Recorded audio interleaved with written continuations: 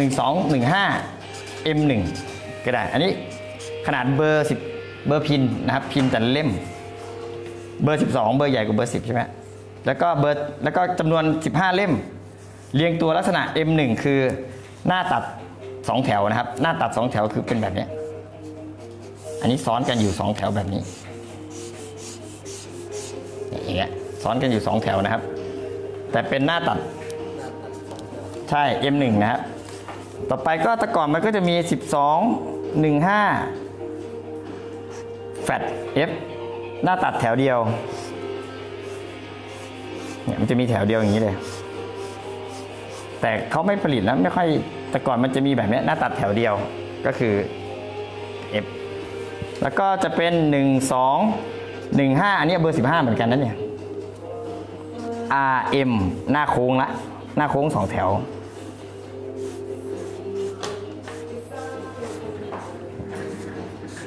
หน้าโค้งสองแถวเนี่ยจะเป็นหน้าโค้งอันนี้นะ อันนี้จะเป็นหน้าตัดหน้าตัดสองแถวนะครับ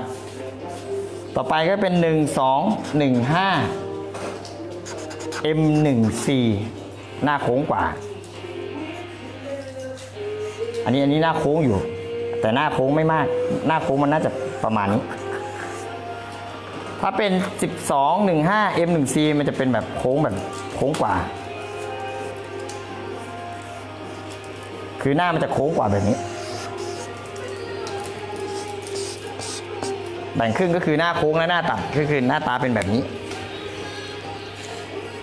เข็มแบ่งออกเป็นก้านและฮอกนะครับ มีทั้งก้านและฮอก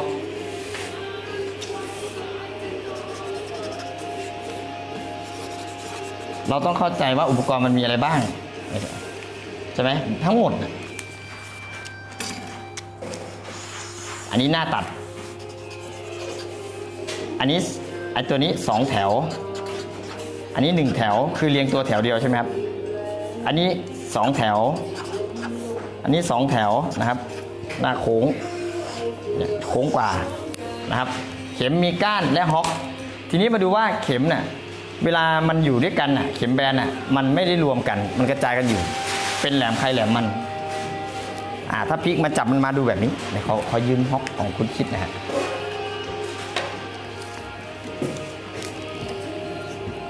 เห็นไหมมันกระจายกันอยู่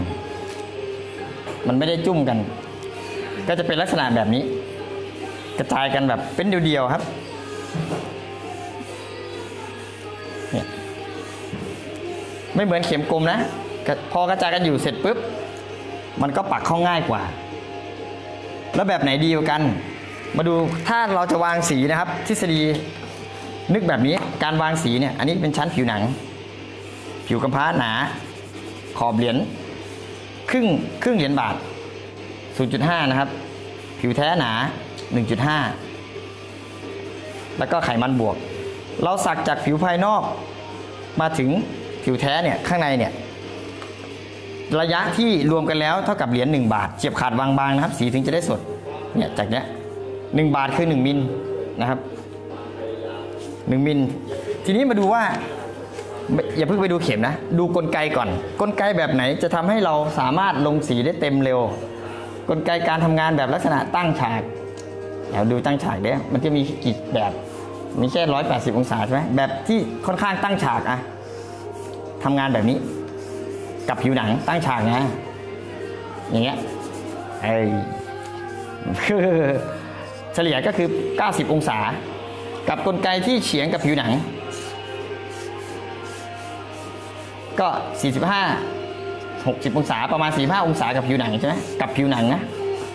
ทีนี้สีสักมันมากับกับเข็มแบบนี้ครูกำลังวาดภาพตัดแบบเนี้ยสไลด์อย่างเงี้ย กับอย่างเงี้ยก็คือตั้งฉากกับผิวหนังแบบนี้ กับสไลด์แบบเฉียงๆแบบนี้กับผิวหนัง ถ้าเราทำตั้งฉากสีมันมากับเข็มแบบนี้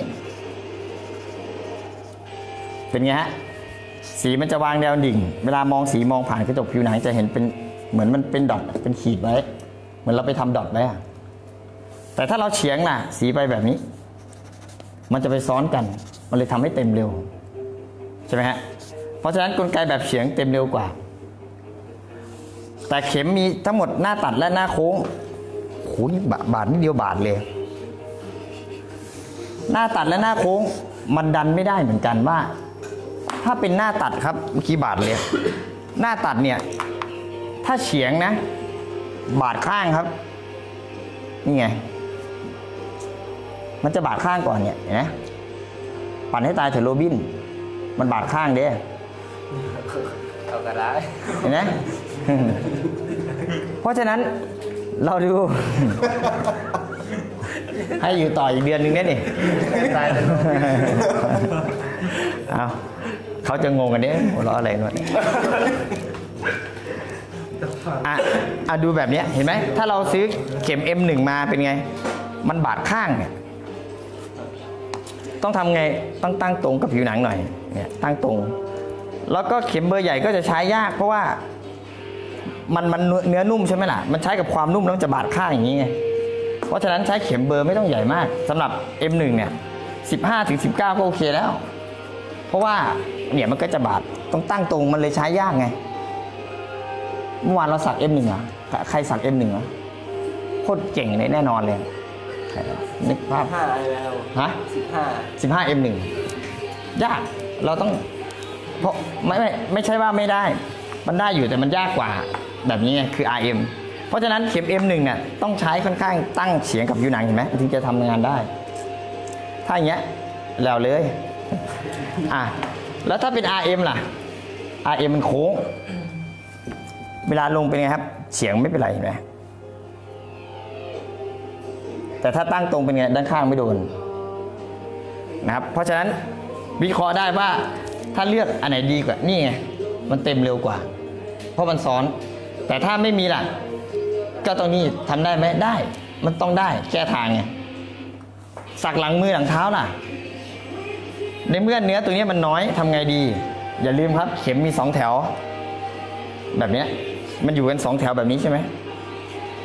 หลังมือหลังเท้ามันดันบางแบบนี้ไงอันนี้ผิวพ้าอันนี้เนื้อ มันติดกันเลยไง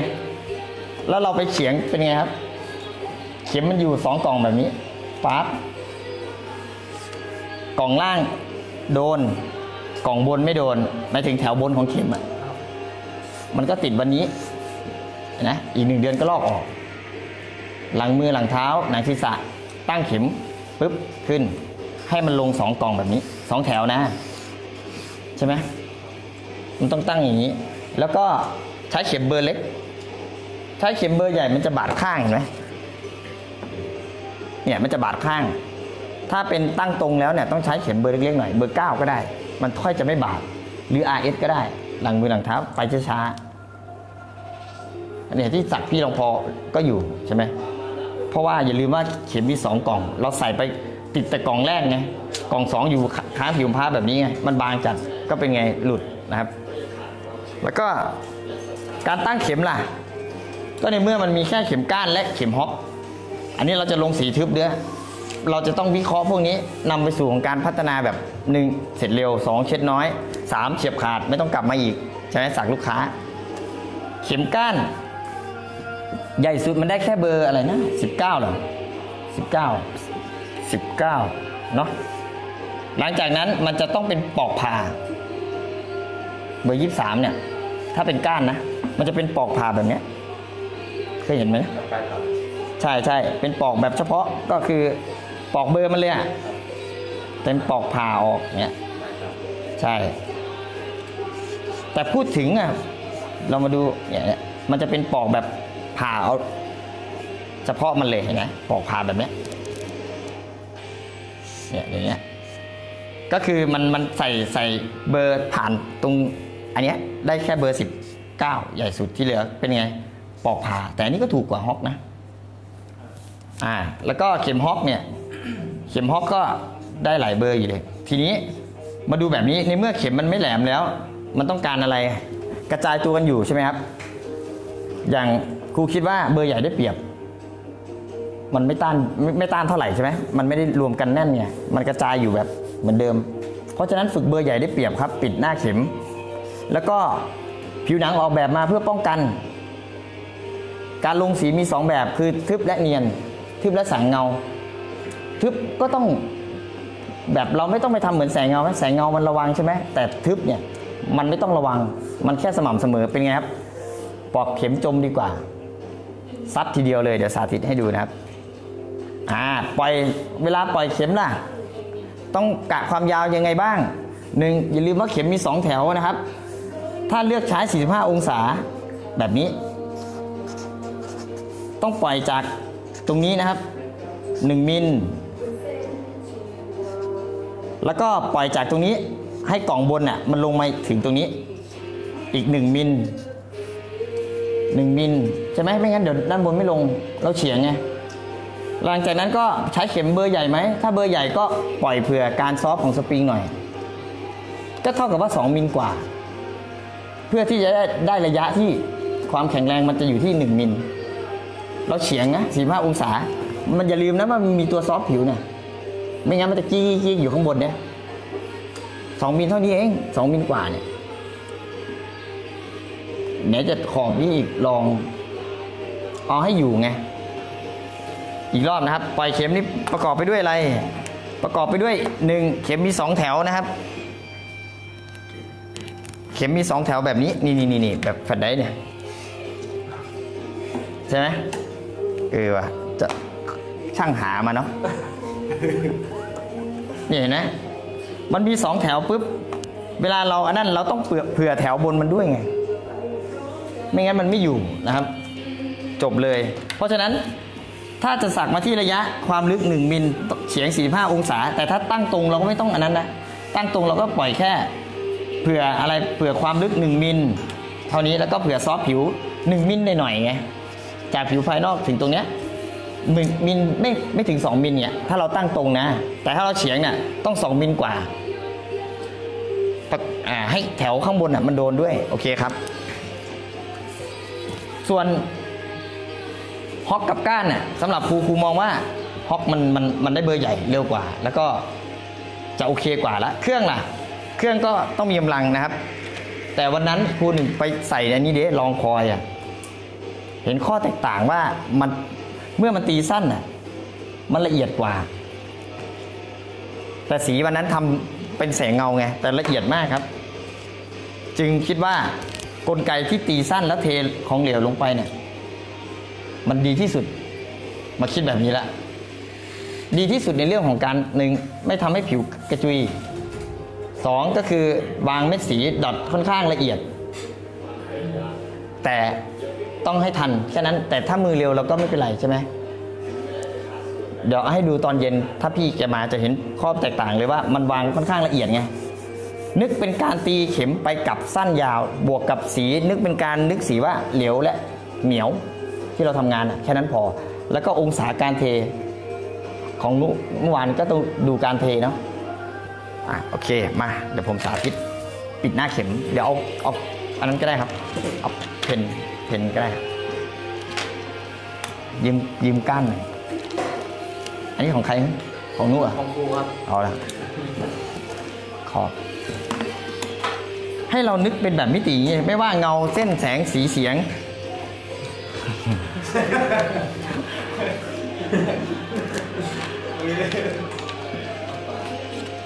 บางทีก็ต้องปล่อยเบอร์หน่อยเนาะไม่รู้ว่าคุณหนึ่งตื่นยังวะเนี่ย ตื่นมาแล้วก็แบบเย็นตื่นมาแล้วก็จะโอ้โหแป๊บเดียวหนึ่งวันหนึ่งเดี๋ยวผมเดี๋ยวเตรียมอันนี้เนี่ย ผมจะเอาปอกปอกมันได้เอาปอกเข็มยืมปอกจะจะสไลด์เฉพาะเข็มแบนแต่ว่าหนังเทียมเราต้องฝึกอันนี้ครับฝึกหน้าตัดมันแข็งแข็งโป๊กเลย มาดูว่า อย่างถ้าเลือกได้ เรานึกเป็นการแบบนี้ว่า องศาการไหลของหมึกหนึ่งบวกกับการตีไปกับของเข็มสองบวกกับสีเหนียวหรือเหลวสามบวกกับอะไรครับ องศาในการวางสีสี่แล้วก็ เครื่องที่มีเนี่ยเวลาเราคำนึงเราไล่ไปเป็นจุดๆแบบนี้หกเหลี่ยมได้นะครับหกเหลี่ยม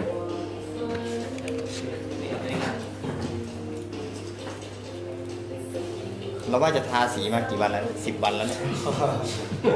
ตั้งแต่ผมเข้ามา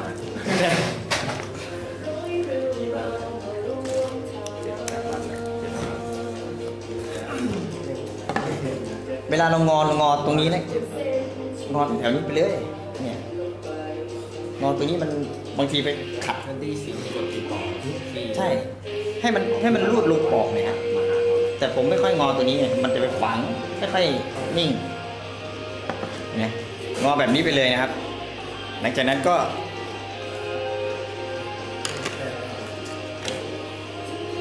ปอกที่มันตัดมาเมื่อวานเนี่ยกูว่ามันไม่ไหลดีเท่าแบบนี้เลยเมื่อวานมันปอกสำเร็จแล้วน่ะมันกรีดมา แต่ดูแล้วมันมันน่าจะเป็นของ RF มั้ยที่ครูว่ากูกำลังคิดไงว่า น่าจะเป็นปอกมันมีปอกที่เขาตัดมาไงปอกกลม น่าจะเป็นของ RS น่าจะใช้กับ RS ได้ดี แต่อย่างเงี้ยตัดเฉียงแบบเนี้ยของเราน่ะดีกว่า นุกใส่สีดำทำแสงเงาอะเราอาจน่าจะเอาสีแบบผสมสีดำเข้าไปนิดนึง ดีอยู่จีขาวเนาะก็เลยคือปอกเปิดนี้แหละมันโอเคครับ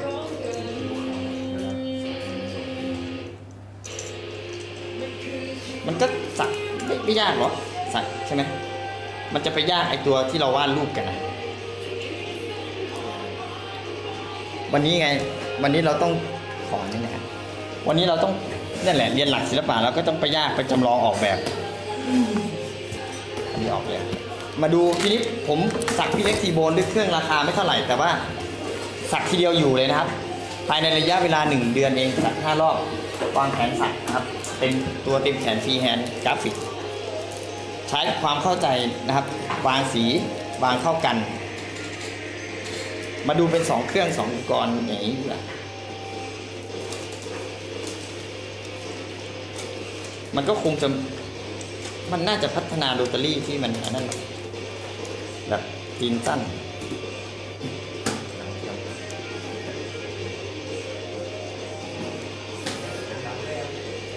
นั่นแหละเดี๋ยวผมเจียเจียข้างกันก็ได้ครับ ตรงนี้ก็ได้ครับนั่นนะเจียเจียเหล็กแบบนี้จำเป็นต้องอย่างนี้ยครับ เราต้องฝึกหน่อยไอ้ตัวเนี้ยมันต้องเนียนไงพื้นที่กว้างเนี่ยตัวดีฮะอะโอเคทีนี้ ขอสีด้วยหนะฮะไม่ใส่ถุงมือฮะเอาขาวกีฬาไม่ออกหรอใส่ถุงมือก็ได้ครับไม่ได้ยืมถุงมือใส่ไหม ใส่ก็ได้ จะได้อธิบายแบบทุกมือครับครับแล้วคู่เดียวครับคู่หนึ่งอ่าครับได้ละเอาถุงมือคู่หนึงเพื่อเอาคลิปไปนั้นเนี่ยสี สักไปสักพักก็เหนียวนะกีซาลีน ถ้าเป็นไปได้เนี่ยเราติดอันนั้นไว้หน่อย พวกเอนทานอลสีดำเอนทานอลหรือซูเปอร์แบ็คมันจะดำกว่านี้อีกนะ อันนี้มันเหมาะกับงานเงางานปานกลางไม่ไม่เมี่ยมนะ พวกนั้นน่ะจะดำเมี่ยมเลยก็คือดำแบบฐานเลยอเนี่ยแบบอย่างเงี้ยด้านๆอะไรเงี้ย มาดูทีนี้เดี๋ยวผมขอนี่หน่อยสายว้าเหยียบนี่แล้ว มาดูแบบนี้นะครับ ไม่ว่าจะเป็นงานอะไรทุกรูปแบบครับ ต้องลงให้เนียน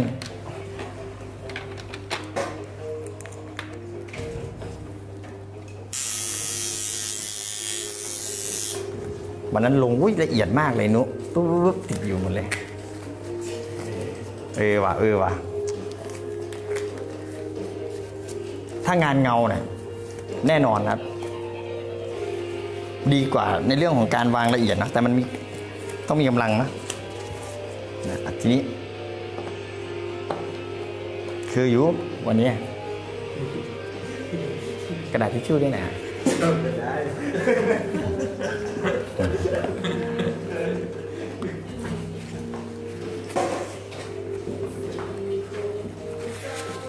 ทีนี้มาดูว่า ลงสีผมจะทำไงดี ผมนึกเลยว่า ผมเฉียงใช้เทคนิคเฉียงไอเฉียงเข็มเสร็จปุ๊บปล่อยเท่าไหร่ ผมปล่อยมา 2มิลกว่าเหรียญ10 กับเหรียญบาทนะครับ บวกกับอะไรครับ ผมจะใช้วิธีการเฉียงเข็มกับผิวหนังนะครับ ซ้อนสี ถ้าลงสีทึบไม่คิดอะไรมากเหมือนแสงเงาใช่ไหมมันจะต้องอัดให้เท่ากัน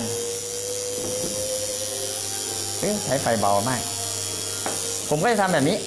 หน้าเข็มไงสำสำคัญคือหน้าเข็ม หน้าเข็มแบบนี้เราไม่ค่อยใช้กัน แล้วก็เช็คไหนนะหน้าเข็มหนึ่งหน้าเข็มเปิดอย่างเงี้ย อันนี้คือเป็นหน้าเข็มเปิดอ่า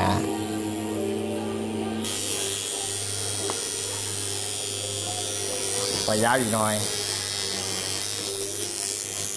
มันไม่น่าจะมีเอ้ยมันแข็ง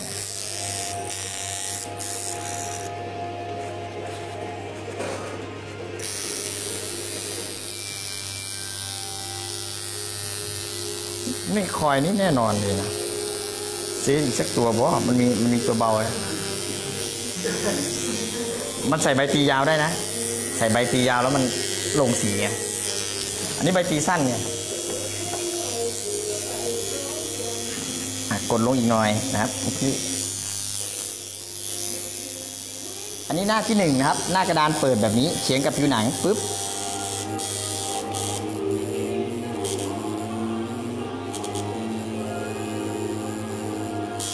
มันมีกลไกที่ซอฟผิวใช่ไหมครับ เพราะฉะนั้นเราต้องเผื่อกลไกที่ซอฟผิว ให้มันย่นลงไปแล้วก็มันจะได้แข็งแรงไงหน้าที่สองบิดหน่อยนะครับ ฝึกให้ชินนะครับ บิด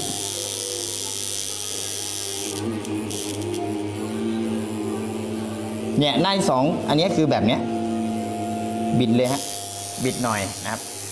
มันจะค่อนข้างเต็มกว่าเดี๋ยวขออีกนิดนึง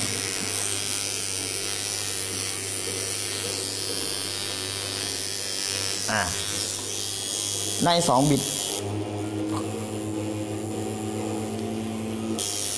เข็มมันจะไปโดนซ้อนกันเนี่ยฮะ เข็มมันจะไปซ้อนกันทำให้ช่องมันเริ่มแคบ ขออีกนิดนึงนิดนึงครับมองไม่ค่อยเห็นเลยเนี่ยมันไม่หมุนแก๊กแก๊กเหมือนกันเนาะ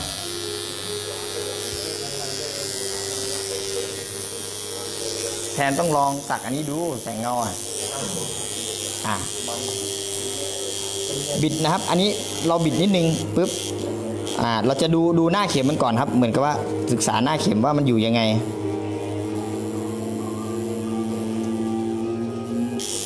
เนี่ยศึกษาหน้าเข็มอ่าเริ่มเริ่มได้ละศึกษาหน้าเข็มครับ อันนี้หน้าเปิดนะครับเฉียง 45 องศาแต่หน้าเปิด อันนี้ถมดำนะครับ อันนี้เราเรียนถมดำอย่างเดียว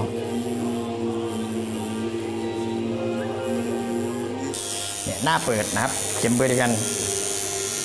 อย่างเงี้ยล่องล่องละเอียดกว่าใช่ไหมครับ มันปิดซ้อนหน้าที่สามก็คือแบบเนี้ยเอียงสามเหลี่ยม ปาดข้าง หน้าที่สี่เป็นไงฮะหน้าที่สี่ก็เอียงสามเหลี่ยม ปาดแนวเฉือนแบบนี้เนี่ยก็เฉือนนะครับ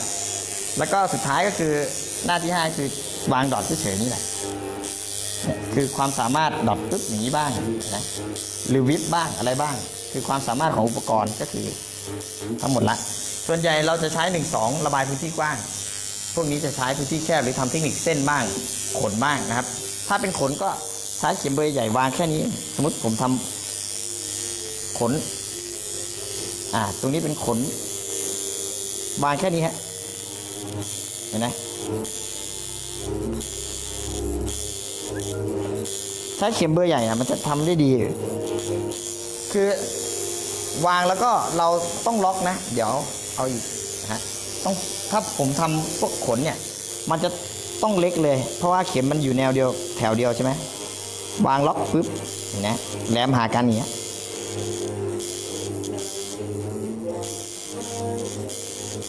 เนี่ยมันจะนุ่มกว่าเข็มกลมนะครับ แม้กระทั่งเข็มกลมเบอร์สามอะ มันเล็กกว่าฮะใช่ใช่ มันจะเป็นเส้นขนมากกว่านะครับ เนี่ยเขียงแบบนี้ก็ได้ คือมันจะเล็กกว่าพวกเข็มกลมเบอร์สามไง มันดูแล้ว มันนุ่มกว่าไง มันจะนุ่มกว่าไงใช่ไหมมันดูละเอียดละเอียดเล็กๆกว่า เพราะฉะนั้นเราใช้อันนี้ดีกว่าในเรื่องของการทำเส้นขนเห็นไหมแล้วก็ค่อยเคลือบโครงสร้างแต่งเงา มันแถวเดียวไง เพราะฉะนั้น เนี่ยอย่างเงี้ยใช่ไหมเนี่ย อันนี้คือหน้าหน้าที่สามสี่นะ คือถ้าเป็นเข็มสามเนี่ยมันยังมันยังเนี่ยดีความละเอียดของมันน่ะ ใช่ไหมเนี่ยเนี่ยเนี่ยใช่ แล้วก็วางดอทนี้เฉยก็ได้นี่ปุ๊บเนี่ยเห็นไหมวางดอทแค่เนี้ยเฉือนปุ๊บนิดเดียวแล้วทำแหละเลยอ่าเฉือนปุ๊บนิดเดียวให้ปิด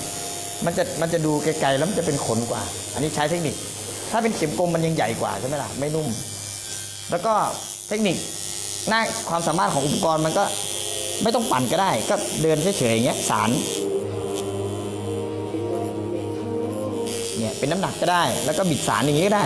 ใช้การบิดสารกันนิดนึงก็ได้ อย่างที่เราเรียนเรียงเส้นมาใช่ไหมบางทีเราบิดสารกันแค่เนี้ยมีกว้างอ่ามันมีมันมีเข็มหลายเบอร์ไง มันก็ทำให้เป็นไง เต็มเร็ว ทีนี้มาดูว่าผมจะถมสีละ เนี่ยหน้าเข็มความสามารถของอุปกรณ์เป็นแบบนี้ เมื่อเราบิดเข็มปุ๊บ เข็มเหลือนิดเดียวเอง เช็ดทีไปกับโต๊ะเลยครับใช้ใช้เบอร์ 15 ใช่ไหมฮะแต่พอทำงานจริงเหลือเบอร์นี้เองเดี๋ยวเบอร์ 9 ประมาณนั้นน่ะใช่ไหมเวลาเราบิดจริง ๆ เราทำงานเหลือแค่นี้เอง เพราะฉะนั้นใช้เบอร์ใหญ่ ได้เปรียบมันบิดได้ใช่ไหมครับ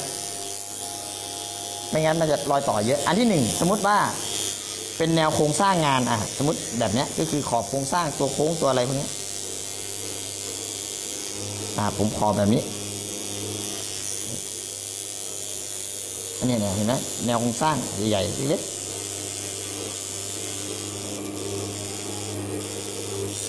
อย่างเงี้ยมัน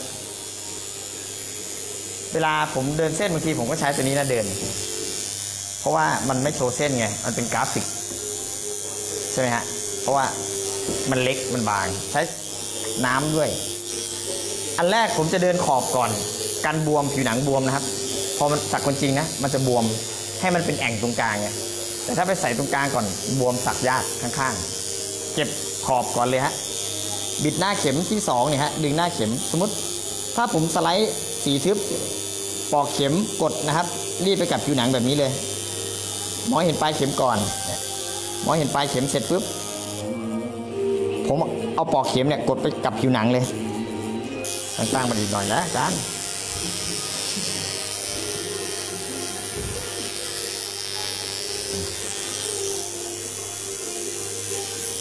หน้าเข็มที่สองนะครับ แล้วก็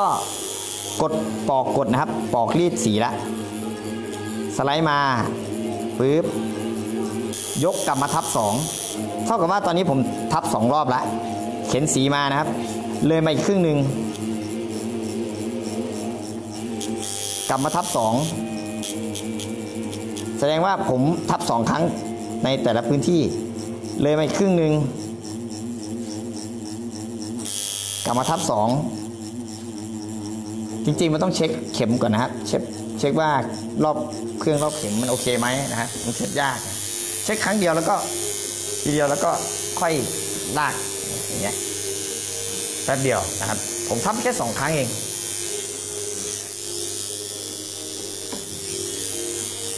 ทำไมหนึ่งปิดหน้าเข็ม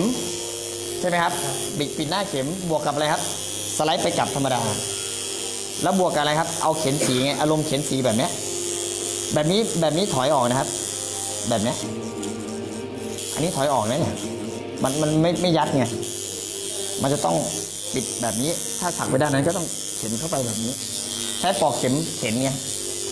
อ่าถ้าฟังดูดีเสียงมันจะเข็นมาแบบนี้มอยเห็นปลายเข็มเก็บข้างก่อนไงหรือเก็บแนวนี้ให้หมดก็เนี่ยเคลียร์ก่อนทับสองไงผมจะทับแค่สองปึ๊บก็ปิดหน้าเข็มหนังเทียมเนาะ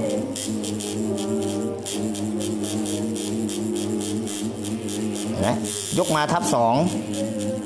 มันไม่น่านานนะ จริงๆแล้วเนาะตียาวไงไม่เลยนานเอ้ามันเลื่อนออกได้ไงวะนุลองไม่ได้หรอเออมันเลื่อนออกเฉยเลยลองก่อน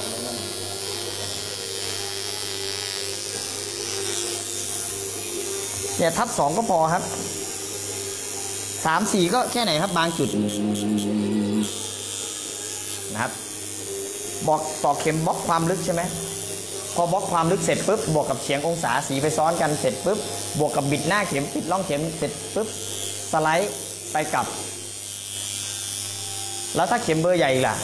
จอบอแป๊บเดียวนะครับ เพราะว่าอันนี้มันไม่ได้ระวังเยอะ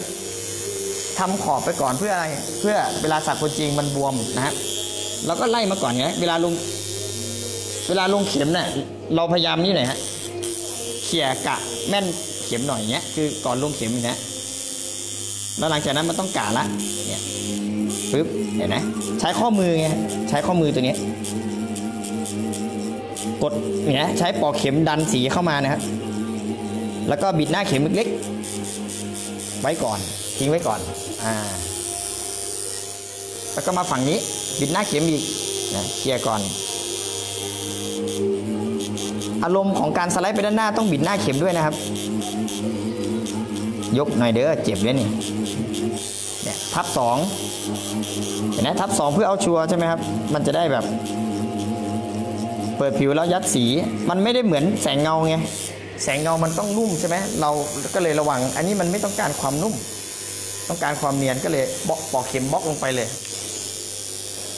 แล้วคอยไอ้ตัวนี้มันตีละเอียดไงตีสั้นใช่ไหมล่ะมันก็แป๊บเดียว สีก็ให้มันเหลวๆหน่อยนะฮะทับสอง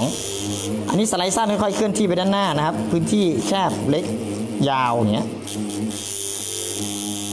นะยิ่งยิ่งปิดหน้าเข็มแคบนะยิ่งแน่น กลับไปทับสองเห็นไหม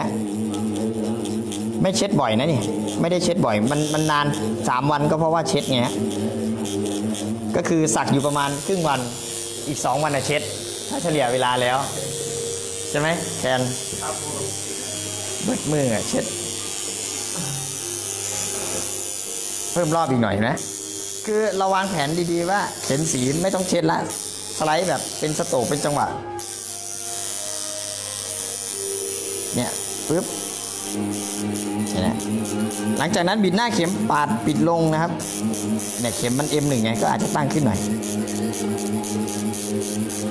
เนี่ยแล้วก็ ปลายแหลมเป็นไงก็ชนหากัน เวลาทำปลายแหลมเนี่ย ผมจะทำแบบลักษณะแบบนี้ยสักสองสมมติเส้นนี้มันอยู่แบบนี้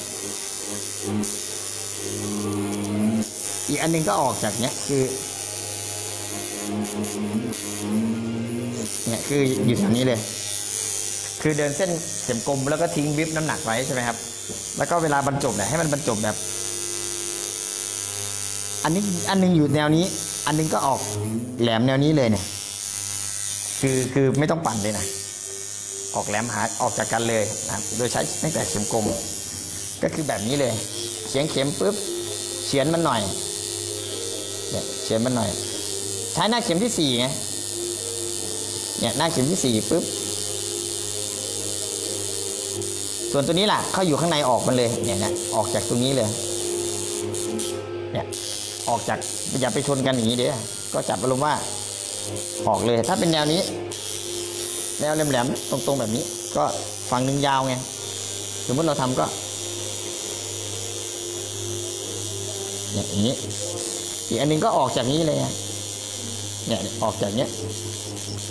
เป็นแหลมออกมาเลยนะ ออกมาอย่างนี้เลยนะมันวางแบบนี้ แนวนี้แล้วก็แนวนี้ออกมา ถ้าแหลมโค้งก็ วางแนวนี้ แนวนี้ออกมา คือไม่ต้องไปสไลด์มันอะวางออกมาเลย วางแนวนี้ แล้วก็แนวเนี้ยออกมาเห็นไหมสไลด์เข้าขยับเข้าไปไม่ต้องไปชนมันเนี้ยข้างในนะครับ หลังจากนั้นก็ พื้นที่กว้างก็เป็นไงครับ มันมันคืออะไรอันเนี้ยอ๋อพื้นที่กว้าง เวลาสไลด์ เก็บขอบเห็นไหมครูก็เก็บแค่นี้เนี่ยวางเอาปึ๊บเนี่ยดันสีแล้วก็วางเอาแค่นี้วางแบบให้มัน ทีนี้หน้าเปิดเนี่ยมันต้องปิดนิดนึงอย่าอย่าพยายามให้หน้าเข็มมันเปิดนะหน้าเข็มเราต้องปิดหน่อย คือเฉียงปิดน้าอ่าแล้วก็สไลด์พวกนี้ก็เป็นไงฮะถ้าสไลด์กว้างก็ต้องช้าๆหน่อยครับ ราะไม่งั้นมันไปเร็วกว่ารอบ มันเลื่อนตรงไหนวะเนี่ยอ่าทีนี้มาดูอีกตัวหนึ่งจะสไลด์กว้างขอยืมเครื่องเพลงหน่อย นี่ใช้ทีแบบนี้เลย ใช่ไหมเต็ม อันนี้ยังเบอร์ยี่สามนะนี่อย่างเงี้ย พอเราบิดหน้าเข็มเป็นไงครับ มันเหลือแค่เบอร์ไม่เท่าไหร่เองอะทีนี้ อันนี้ได้ไหมก็โอเคนะครับ เพราะว่า เข็มเข็มแบนมันมันไม่ได้เรียงตัวอัดกันแน่นอยู่แล้วเยี่ยมเอออันนี้โอเคเสียงเลยครับเออคนละเรื่องเลยนะ หลับ หลับเลยเด้แบบเนี้ย เอ้าเชื่อติดมันติดเลยไม่รู้เลย เราจะทำไงให้มันแบบ ไม่สะดุดแบบเนี้ย มันเป็นเพราะอะไรเอาแจ็คสายไม่หรอครับข้อต่ออย่างนี้เหรอะ เราไปซื้ออันนั้นมากันดีไหมบัตรเกียร์เอามาไว้สอบเองครับคุณแต่งเองบางทีก็ใจให้ไงใช่ให้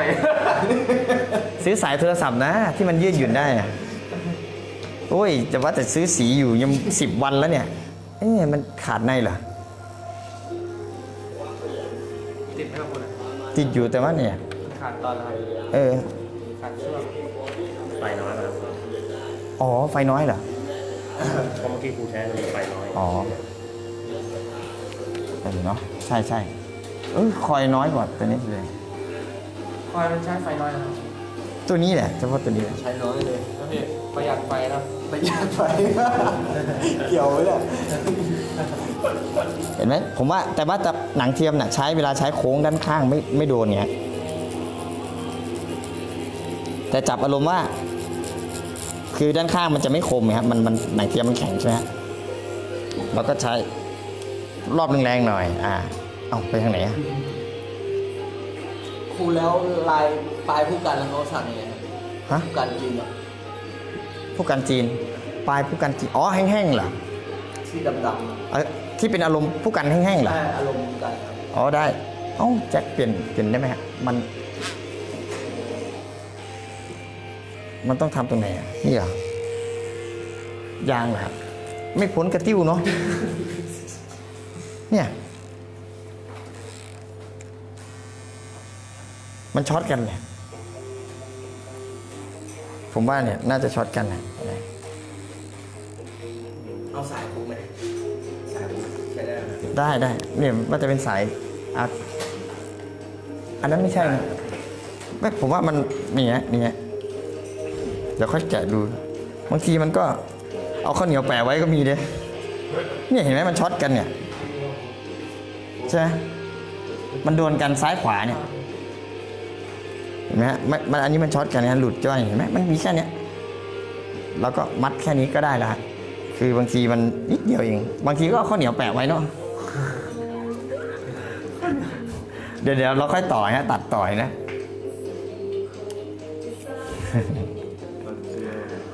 นักเรียนเลยจะไม่รู้เลยว่าอันไหนอันจริงอันไหนเล่นวะเนี่ยคู่หนึ่ง บางอย่างก็ปล่อยเบอร์นะครับ อย่าไปอย่าไปอันนั้นมันอันไหนที่มันหนวดตีงึกๆน่ะใช่ครับอันนั้นที่ปล่อยเบอร์ฮะแบบก้อนอย่างนี้มาที่ใส่เบอร์มาไม่ใช่เป็นดับเลยครับอ๋อ นี่เรามาเรียนเรื่องมาหยอกกันเหรอไม่ใช่นะ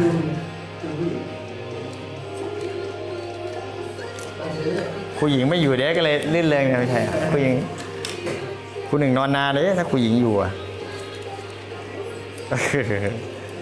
อะทีนี้อ้าวชิบหายละแจ้คนไม่ค่อยดีครับวันนี้เขาทำเป็นเบอร์เจ็ดเบอร์หกมันจะไม่ค่อยดีครับไม่อันนี้ของอันนี้แหละ เอ้าผิดฝั่งเหรอมันเป็นนิดแจ็คครับ อันนี้ผมที่ผมตอนผมตัดติดอยู่ให้น้งมันอะขอโทษขอโทษผิดฝั่งครับ มันไม่ค่อยติด ได้ละ ได้ครับ ใช่ มันผิดฝั่งไง เดี๋ยวเอาเลยมาอันนั้นแจ็คทันเดอร์มันจะ อะทีนี้มาดูว่า อ่า สีพอสีเพิ่มอีกนะต่อไปเป็นที่กว้างละ ทีนี้หนึ่งแบบฝึกหัดหนึ่งเทคนิคเราจะไม่กลับมาอีกแล้วดิเราจะวางหนังเทียมแล้วไปอย่างอื่นเลยนะทำให้หมดเลยนะครับ แล้วก็หนังเทียมคนละอย่างกันไงหนังเทียมยากกว่านะครับ ลายเข็มเมื่อเราไม่สไลด์ตัวเป็นไงครับ ลายเข็มมันจะเป็นหน้าเดียวกันเนี่ยถ้าเราสไลด์เยอะเป็นไงครับบางทีเราสักแบบนี้สไลด์มางัดแบบนี้ขวานสับไม้เลยฮะกระจุยนะบิดเข็มนี่นะบิดเข็มหน้าเนี่ยบิดเข็มหน้าเข็มที่สองใช่ไหมครับ บวกกับยัดสีลงปุ๊บอย่างเนี้ยยัดสีนะครับ ถ้าไม่ยัดเนี่ยแบบเนี้ยมันถอยออกนะแล้วก็การสไลด์เนี่ยมันก็มีแค่สไลด์เข้าหาตัวแบบนี้ ใช้ข้อมือนะบิดหน้าเข็มที่สองแล้วก็ยัดสีลงเนี่ยเนี่ยยัดสีลงนะปุ๊บเนี่ยมันเป็นหน้าหน้ามาหน้าเข็มเบอร์ใหญ่ก็สบายละทีนี้ถ้าเป็นพื้นที่กว้างล่ะ เก็บสามสี่บางจุดนะครับหลังเทียมก็เราจับเอาอารมณ์การฝึกเนาะเนี่ยเนี่ยเนี่ยแล้วก็บิดนิดนึงนะครับ ทีนี้พื้นที่กว้างก็อย่างผมไม่ไม่สไลด์ตัวนะครับ ฝึกไม่สไลด์ตัวอะทีนี้ ลงวัสลีนเอาจกมั่วไปได้ ตื่นยังวะเนี่ยครูหนึ่งพื้นที่กว้างบิดหน้าเข็มที่สองอันนี้สมมติเป็นพื้นที่กว้างๆละปึ๊บเว้นช่องไฟด้วย แต่เท่ากัน แหลมด้วย เอาตรงนี้ก็ได้ ก็ผมจะสไลด์ลักษณะ ล่างขึ้นบนก่อน มันหนังเทียมยากกว่านะเนี่ย ส่วนใหญ่ผมจะทำอย่างเงี้ยไล่จากล่างเป็นแนวแบบเนี้ยมากกว่า มันสารกันไง แล้วก็ตอนนี้ผมวางเข็มแนวนี้อยู่เห็นไหมอย่าลืมใช้เทคนิคเรียงเส้นไงเรียงเส้นเพื่อมาปิดช่องไฟใช่ไหมอันนี้ผมสารแนวนี้ เพิ่มรอบอีกหน่อยมาเมื่อกี้ผมวางแนวแนวเข็มอยู่แบบนี้ใช่ไหมปึ๊บเห็นไหม ทีนี้ผมทำไงบิดกันนิดนึง ให้มันสารกันไง นิดเดียวพอไง ใช้ปอกเข็มกดด้วยนะครับ เห็นไหม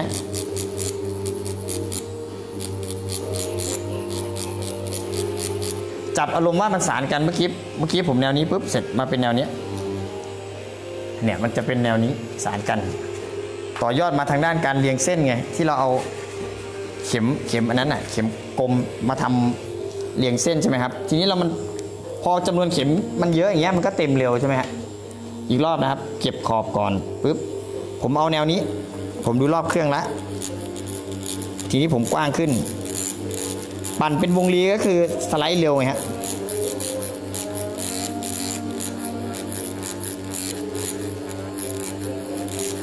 มันต้องตั้งตรงหน่อยนางเทียมเนี่ยจับจับอารมณ์ว่าต้องสารกันหน่อยเนี่ย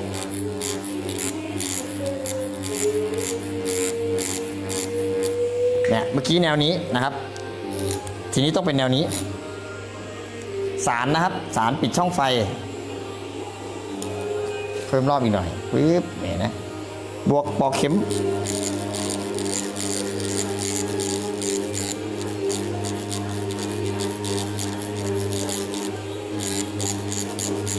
ใช้น้ำมันมะกอกหรือน้ำมันอะไรก็ได้นะครับ ในการลองลอง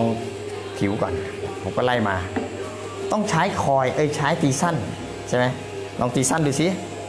ตีสั้นก็เป็นไงมันก็บางละเอียดทีเดียว อันนี้มันมันนุ่มก็ได้ไหมต้องช้าลงหน่อยทีนี้ผมจะลองเห็นไหมมันตีละเอียดเนี่ยเนี่ยสารด้วยนะเนี่ยทำเป็นแนวมาอย่างนี้ไหมปุ๊บแล้วก็บิดหน้าเข็มสารค่อยเก็บขอบบิดสารเราเรียงเส้นอะ อันนี้เรามาเข็มมันเรียงตัวกันหลายเบอร์ใช่ไหมมันก็เลย ทำให้พื้นที่กว้างเต็มเร็วอย่างเงี้ยก็เก็บทีนี้เอาถ้าเราเป็นแบบเนี้ยกูว่านี่อย่างเงี้ยใช่ไหมมันจะค่อนข้างละเอียด เพราะว่าไปกับสั้นแตก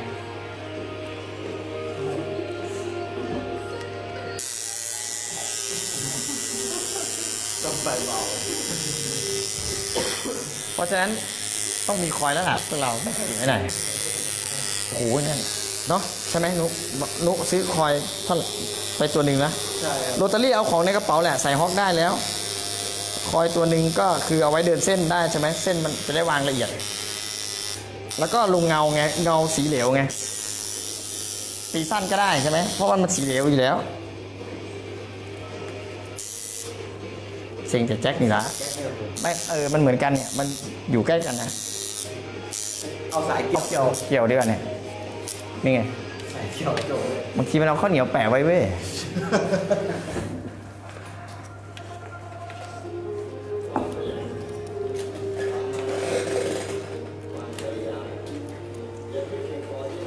แต่ก็ไม่หนักไม่หนักเท่าไหร่เนาะกำลังพอดีเลย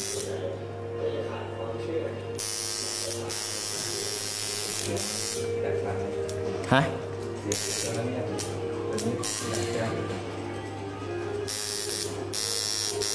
มันลื่นวัสลีนอะโอเคได้ละเนี่ยถ้าอย่างเงี้ยผมคิดว่าเอ๊ะถ้าเราใช้ตีสั้นองศาเทหมึกเนี่ยเป็นไงมันเทลงแนวนี้อยู่แล้วนะครับบางทีเราสักนะครับดูนะฮะโอ้ยสบายเลยอย่างเงี้ยใช่ไหมบิดหน้าเข็มที่สองเจียเหล็กครับแบบเนี้ยเห็นไหมเป็นวงรีไต่มาปั๊บ เมื่อกี้แนวนี้ปุ๊บมาเป็นแนวนี้ สารกันหน่อยไงตอนนั้นเราใช้ เราใช้อะไร เราโอ้ยนี่มือเร็วไปก็ช้าลงละนะผมก็ต้องช้าลงละคือมันจะต้องวิเคราะห์ด้วยนะใช้เข็ม ถ้าเป็นเข็มก้านเนี่ยเนี่ยแน่นเลย นะครับ ไม่ต้องเกียสามวันแล้วนะครับอย่างนี้แล้วก็เก็บนี่ก่อน ลงเข็มก็คือเหมือนเดิมครับ บิดหน้าเข็ม เราบิดหน้าเข็มที่สองสไลด์แบบขึ้นลงดีกว่านะครับ มันจะเนียนกว่าผมไม่ไม่ไม่ไม่ไม่แล้วแต่ถนัดนะ บางคนถนัดแนวนี้ ของผมขึ้นลงแบบนี้ มันเป็นวงรีไงสารขึ้นลงเลย แบบนี้นไหมผมว่ามันเก็บไปเป็นหน้าหน้าๆดี เอากดกดมันหน่อยนะฮะ กดเอาปอกเข็มดันสีให้เข้าสู่กระบอก เอ้ยผิวหนังด้วยนะฮะแล้วก็สารหน่อยเมื่อกี้ผมมาลายนี้ เห็นไหมเพื่อปิดอะไรครับ ปิดร่องเข็มเนี่ยอย่างเงี้ยมันก็เต็มเร็วนะฮะแล้วก็เก็บบางจุดก็พอนะครับ ก็คือเก็บบางจุดก็คือเก็บแบบสารกันหน่อย สมมุติว่าเราลายใหญ่หน้าใหญ่เรามาแบบนี้ใช่ไหมฮะบางทีผมเก็บบางจุดก็ปิดสารแค่เห็นไหมคนละลายนะตัวสำคัญที่มันเนียนเนี่ยก็คือการสารปิดลายเข็มนะบิด ใช้หน้าเข็มที่สองนะครับเป็นหลัก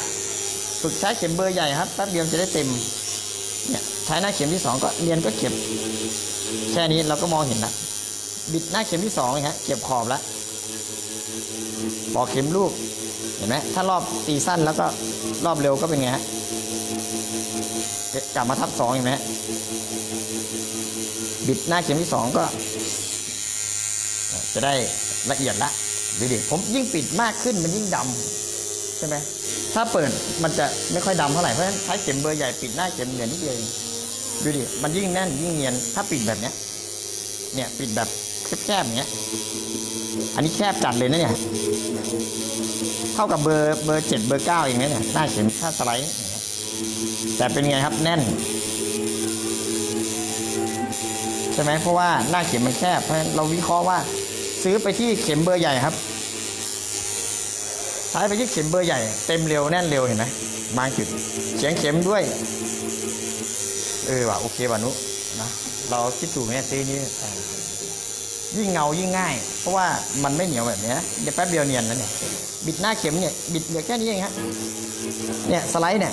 จากเบอร์ 15 ดูดิเนี่ยจากเบอร์ 15 เหลือหายไปครึ่งหนึ่งนะครับเพราะฉะนั้นแล้วก็ค่อยมาเก็บขอบแบบนี้ ค่อยแต่งขอบก็แต่งเนียนเนี่ยแต่งเนียนก็ เนี่ยแต่งเนียนเนี่ยก็แต่งพวกนี้ก็ปาดปึ๊บเนี่ยผมก็แต่งนะ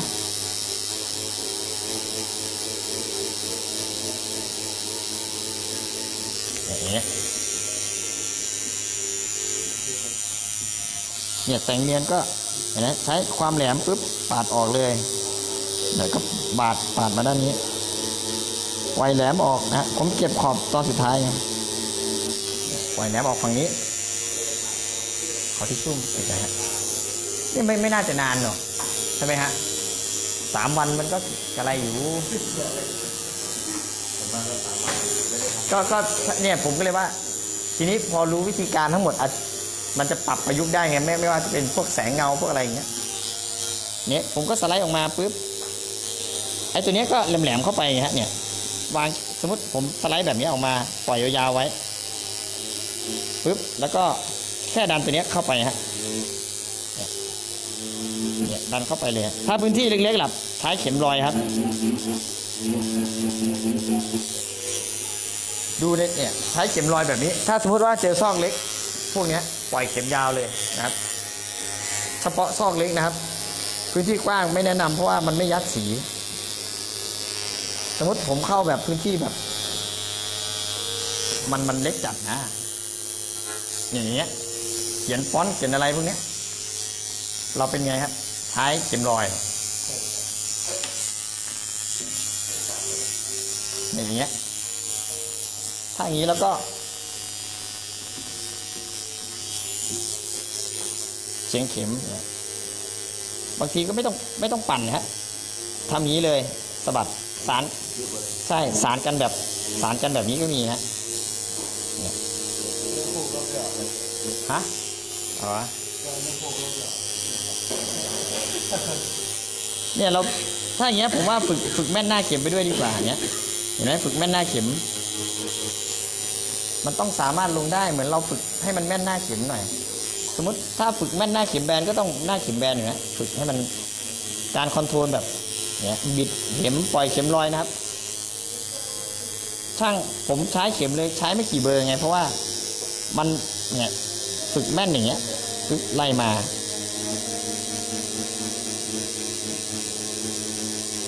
เนี่ยอย่างเงี้ยแล้วก็ใช่เนี่ยฝึกไม่กี่ตัวเนี่ยฮะเนี่ยผมว่าจริงๆ ถ้าเป็นเข็มแบนอะมันมันมันจะง่ายง่ายตรงที่เต็มเร็วนะครับ เนี่ยเราฝึกวางเอาเนี่ยฝึกหมุนบิดนะครับ ใช้ไม่กี่ไม่กี่หน้า แต่ปล่อยเข็มยาวเนี่ยเนี่ยเฉียงบิดสายตาเนี่ยนะบิดปุ๊บเวลาเราสักปุ๊บเราลดต้นทุนเนี่ยไม่ต้องเปลี่ยนต้นทุนทั้งเวลานะ ผมก็การดันสี อันนี้อันนี้เข็มรอยเพราะว่า พื้นที่มันก็เห็นเนี่ย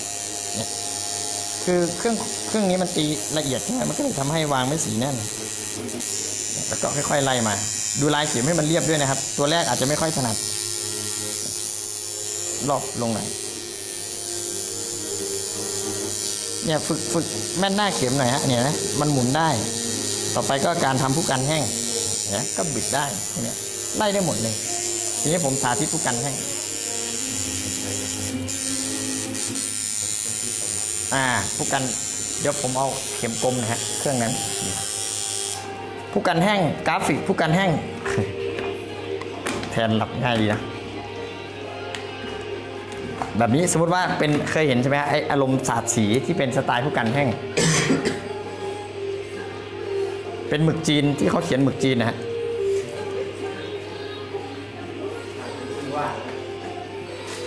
ต้องได้ มันมันจะมีเทรนนี้ อันนี้ถือว่าเป็นกราฟิกนะครับ แต่เป็นกราฟิกขอบไม่คมไงใช่ไหมมันเป็นงานกราฟิกที่ขอบไม่คม แต่ถือว่าเป็นงานระบายสีทึบนะครับ ใช่ใช่เป็นงานระบายสีทึบ แต่เผอิญมันไม่ได้คมขอบมันเลยยาก ทีนี้เราจะทำยังไงนะครับ จับโครงสร้างครับ ถ้าพวกนี้ต้องจับโครงสร้างเช่น จับโครงโครงสร้างแนวผู้กันแบบนี้เหมือนอารมณ์ของเราว่าเข้าใจว่าเผอิญว่าเอาผู้กันหน้าขนาดนี้ ปั่นนะครับ หน้าผู้กันก็ต้องเป็นไงครับโครงสร้างต้องตึง แต่สีมันอาจจะติดไม่หมดนะครับ เพราะสไตล์ผู้กันแห้งใช่ไหมฮะผมจะทำงานของนุอย่างเงี้ยโครงสร้างตัวเนี้ยเป็นตัวสำคัญนะเนี่ยผมจะทำให้เป็นลักษณะผู้กันแห้ง โครงสร้างของแปลงผู้กันเบอร์นี้ที่ปาดแบบนี้ ปุ๊บอันนี้คือโครงสร้างนะฮะคือมันเอาผู้กันปาดแบบนี้ อันนี้คือเป็นงานกราฟิกที่ที่ขอบไม่คมไง จึงต้องใช้เนี่ยเนี่ยโครงสร้างควบคุมก่อนเนี่ยโครงสร้างปุ๊บเผอิญปาดผู้กันไงเฉียงตัวเนี้ยเฉียงปาดออกปุ๊บเนี่ยแล้วก็สลัดออก มันเฉียงปุ๊บสลัดออกนะฮะ นี่แหละเทคนิคนี้ก็จะเจอบ่อย จับไปที่ขอบผู้กันแบบนี้สุดเนี่ยก็คือ ผู้กันมีลักษณะหน้าหน้ากว้าง เท่านี้ก็ตีขอบหน้ากว้างของผู้กันเท่านี้แล้วก็สะบัดบอกไปตรงไปป้ายเนี่ยอันนี้หน้ากว้างเท่านี้ตัวนี้เป็นไง อันนี้ก็ขีดนิดนึง ถ้าวงกลมล่ะ สมมติมีวงกลมตัวนี้ เหมือนเหมือนสะบัดใช่ไหมปุ๊บเหมือนใช้แปรงก็ต้องจับจับไปที่ขนาดหน้าแปรงไงฮะแล้วก็เดินเส้นนะครับ เดินเส้นก็เขย่าให้ดูทั้งสองแบบเลย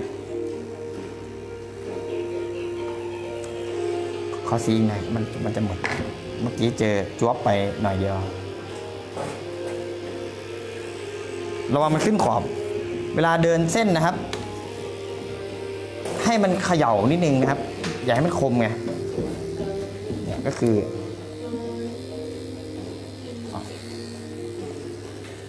ใช้เข็มเบอร์เล็กจะดี ถ้าเข็มกลมเนี่ยมันจะได้รายละเอียดของซอกเล็กๆดีอย่างเงี้ยอะอันนี้เป็นแนวโครงสร้างที่เราต้องคือแปแปลงผู้กันใช่ไหมครับ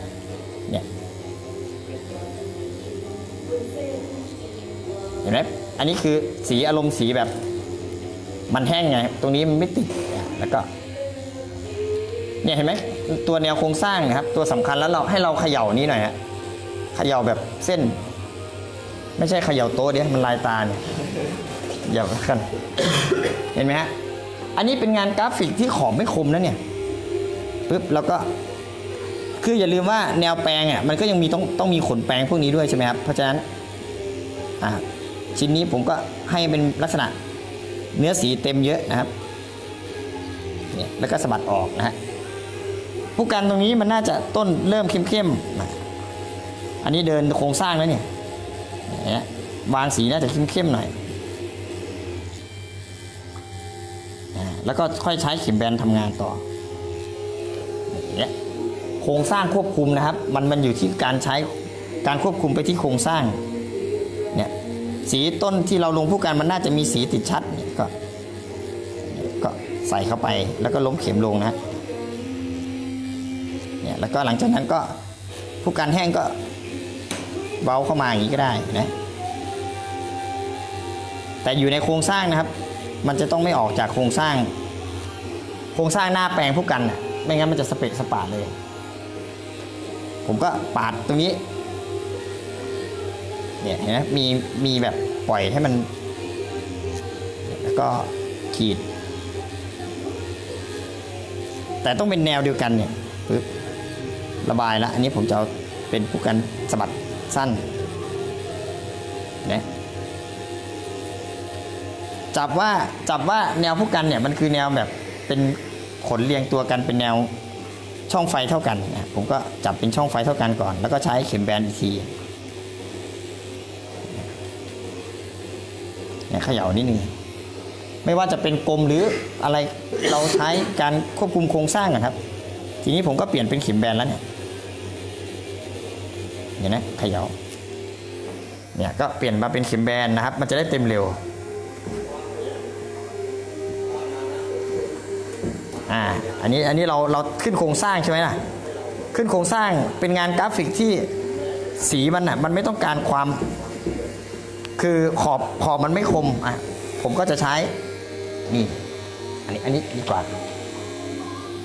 อันนี้มันละเอียดดีนะฮะ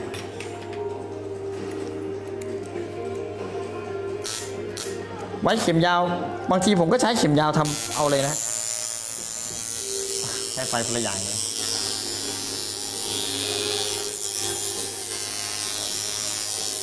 มันไม่สนุกตรงมันขันอันนี้แหละ แต่ว่าข้อดีของมันคืออัดสีเต็มเร็วนะครับ เห็นไหมเรานึกเป็นการทำงานแล้วแบบยังไงครับ แบบตีสั้น แบบตียาว ผมจะนึกเป็นแบบนี้ละ ตีสั้นตียาวสีเหลว การต้านขนาดเข็มใช่ไหมฮะหมดแรงขันเลยเมื่อเราได้ขอบโครงสร้างเสร็จปุ๊บอย่างนี้ถอยออก ปรับ ห็นสีแบบนี้ละผมอยู่แนวนี้ไงไม่งั้นมันจะถอยสีออกใช่ไหมครับ ก็ต้องดัน ก็ดัน แบบนี้ลงเอียงเข็มก็ได้นะฮะเนไหมเอียงเข็มปุ๊บเป็นแนวอย่างเงี้ยบางทีนไหมฝึกหน้าเข็มครับ ผมก็ดันสีปุ๊บปลายที่กัน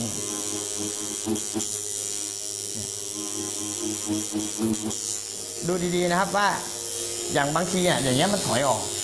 บางบางคนก็อย่างเงี้ยมันไม่ติดติดยาก ผมต้องปรับไงครับปรับแนวหน้าเข็มเป็นดันตามละเพราะว่าถ้าผมทำมาแนวเนี้ยมันอารมณ์ของการของการให้ค่าน้ำหนักเนี่ยมันยากคือต้องการให้มันเข้มตรงนี้เห็นไหมเขียนสีปุ๊บสะบัดออกนะฮะอยู่ในโครงสร้างนั้นนะครับ โครงสร้างโครงสร้างของแนวแปลงผู้กันเนี่ย ถ้าเราไม่ควบคุมโครงสร้างมันสเปรย์สปาเนี่ยมันมันดูแล้วมันแบบไม่ไม่ใช่ผู้การแห้ง อันนี้ก็คือให้มีสีเต็มๆหน่อยก็ลากไปเลย ขอบมันก็ต้องคมๆหน่อยก็ขีดแบบนี้ด้วยนะครับ อย่าลืมว่ามันคือแนวเส้นขนเนี่ยเรียงกันใช่ไหมเนี่ยมันก็ต้องมีแนว แนวขนสีดำๆอะ เมื่อกี้ผมปาดหน้าเนี่ยรองพื้นใช่ไหมครับ หลังจากนั้นก็ปาดแนวสีของขนนะฮะคือมันต้องต้องมีดำๆแนวของแปรงใช่ไหมฮะแทรกเข้าไปด้วยนะ มันจะดูเนี่ยเนี่ยแทรกแทรกเข้าไปด้วยเนี่ยเมื่อกี้ลองใหม่อีกรอบครับ เนี่ยก็คือแนวโครงสร้างมันอยู่นี่ปึ๊บอันดับแรกเราก็ใช้สีเนี่ยนะฮะรองพื้นก่อนเนียนๆแบบเนี้ย เห็นไหมเนียนตามแนวโครงสร้างนะครับตัวไหนเว้นก็ที่เรามาร์กไว้ก็เว้นไว้ก่อน เว้นไว้แล้วก็ดันเข็มครับ มาอันี่ก็ อันนี้คือเนี่ย